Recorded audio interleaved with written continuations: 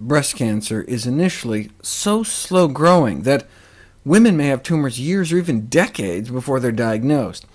So it makes sense that the same dietary factors that help grow the tumor in the first place would keep goading it on before and after diagnosis. This is not always the case, evidently. Uh, alcohol, for example, strongly associated with breast cancer risk, but once you already have a full-blown tumor, it may not make a difference if you continue to drink or not.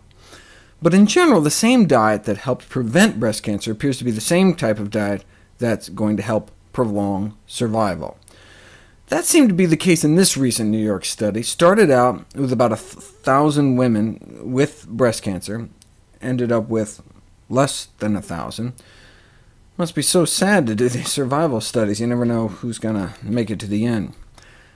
Several investigations have suggested that plant-based diets, rich in fruits, vegetables, and grains, as well as their related nutrients, may have a beneficial effect on survival after breast cancer. Evidence pointed to lignans, phytonutrients found throughout the plant kingdom. We know they may prevent breast cancer.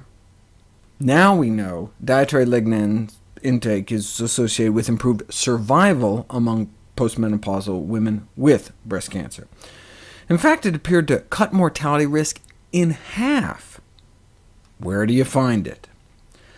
Well, there's some in red wine, whole grains, vegetables like kale, big jump to sesame seeds, and then meteoric rise to flax seeds. Let me squish down the scale here. Look at that. Nothing comes close to flax.